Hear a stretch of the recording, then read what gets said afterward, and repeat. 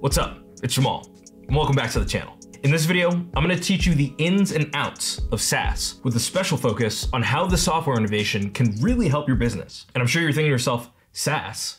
Like when someone's real cheeky with me at the company water cooler? No, I'm talking about software as a service. You should talk to HR about that.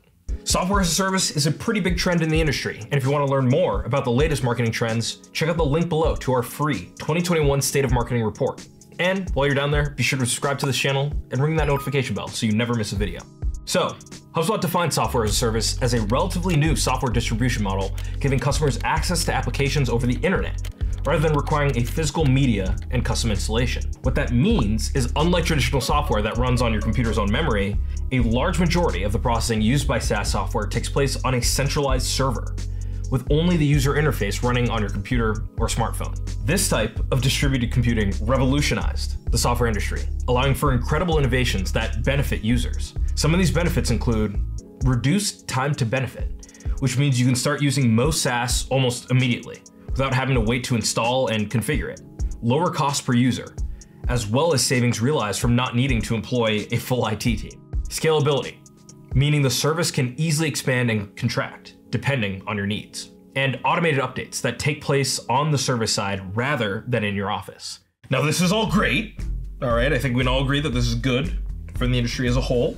Okay. But I think the biggest advantage of SaaS is that it lets companies test out a wide variety of software solutions without the huge costs of buying traditional software stacks. But the SaaS market is made up of much more than the logos everyone recognizes. Remember when Microsoft felt like the only software company in the world? If you do, you're an old bag of bones, just like me. Not going to take that back. The SaaS revolution has enabled thousands of startups to create custom solutions for all sorts of niche business needs. Here are a few of our favorites just in the realms of marketing, sales, and operations. When the pandemic put a sudden stop to public gathering, businesses around the world found themselves scrambling to replace in person events with online experiences to fill the top of their lead gen funnels. On24 was one of the many companies to step up with a solution, allowing businesses to put on high quality webinars and virtual conferences without the need for large production and tech teams. These SaaS tools were leveraged by some of the world's biggest companies like GE, Visa, and Eli Lilly. Even Microsoft found themselves using On24 software to drive customer engagement. The fact is, virtually all SaaS companies saw significant growth, even as the global economy was shutting down. HubSpot's suite of marketing, sales, and service SaaS products supported thousands of online new businesses that were launched during the pandemic. New users were able to use free versions of each HubSpot platform, only moving up to paid tiers as their business grew. This is another key advantage of SaaS. Because costs are low and onboarding minimal compared to traditional software, businesses can test out solutions before making major commitments. Thanks to the low barrier of entry, there's virtually no business task that can't be accomplished using SaaS. Our software is the worst. Have you heard of HubSpot?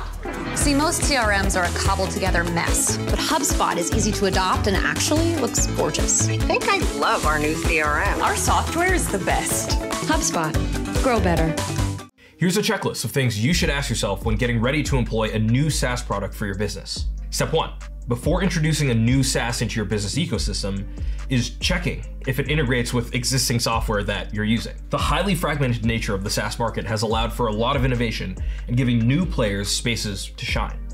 But it also left gaps where a SaaS running one small business function might not play nicely with another service that you also need. Without good integrations, any efficiencies you hope to get from using SaaS can be quickly eliminated. The really cool thing about HubSpot is that it permits connecting hundreds of approved apps. We also build and maintain our own apps for integrating with the most popular software from social media and sales to project management and productivity. Together, it forms a distributed web of the best software solutions available today. And even if one of the services goes down, it's easier to replace it with another one instead of rebuilding the entire web. This means that your team can continue to function with minimal interruptions. That said, running SaaS, particularly in larger organizations, can require some degree of in-house support. Making sure the users have logins and permissions required to do their job can itself become a full-time job. I've certainly seen my fair share of CEOs mantled with the role of IT person because they're the only one with an admin level login. Of course, if you're a solo entrepreneur or head of a small operation, then SaaS provides you with all the tools you could possibly need to run your business effectively. So, in planning your SaaS future, thinking long and far ahead, You want to have a plan in place to measure various KPIs and ROIs. If not, you could end up spending a lot of time using SaaS tools that don't actually improve your business. Or, far worse, accruing monthly subscription fees that add up to a sizable expense that doesn't pay for itself in the long run. The good news is, there's an app for that. Zylo is a SaaS designed to manage your SaaS. It's kind of like Inception, frankly. It tracks your SaaS licenses, your usage, and your expenses.